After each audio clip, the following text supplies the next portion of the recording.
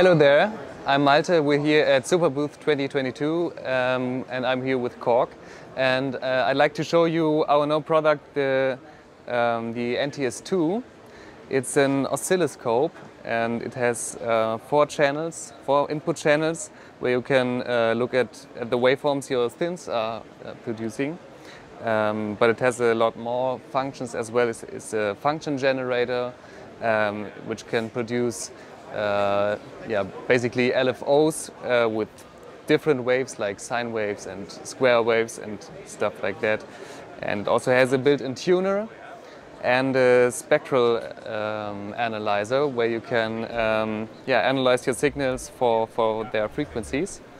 Uh, right now we, we have it connected to the MS-20. You can uh, see the, the waveform here.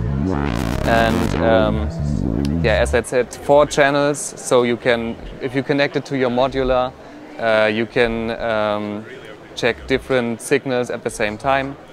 And uh, I can also show, show you the spectral analysis, where it shows the, the uh, frequency content here.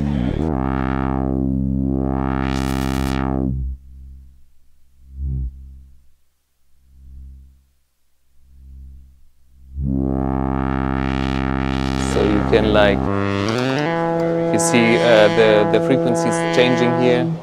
And it's a really handy, um, really handy tool for your synths.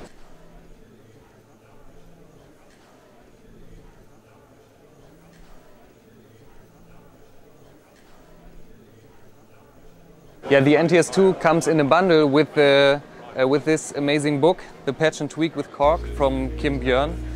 And it covers mostly um, semi-modular synths. Um, it has a, a, whole section about uh, the basics of modular synthesis and also um, the history of modular synthesis and it's um, yeah there are some things about um, the Korg story in general and about the ARP stuff that we that we have here as well.